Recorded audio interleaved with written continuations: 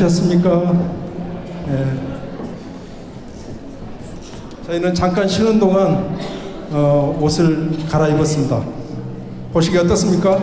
아, 진짜요? 어, 저희는 좀 서프라이즈였는데 예. 좋게 봐주셔서 감사합니다. 일부 공연 어떻게 보셨습니까? 어, 근데 어, 세종문화회관이나 어, 예술의 전당 같은 화려함이나 어떤 웅장함은 당연히 없죠. 그래도 거기에 없는 것이 여기에는 있습니다. 여기에는 성령님이 계십니다. 여기에는 하나님의 사랑이 있습니다. 여기에는 하나님의 은혜가 있습니다. 자, 2부 공연에도 그 은혜의 감동에 파묻혀 주시기 바랍니다.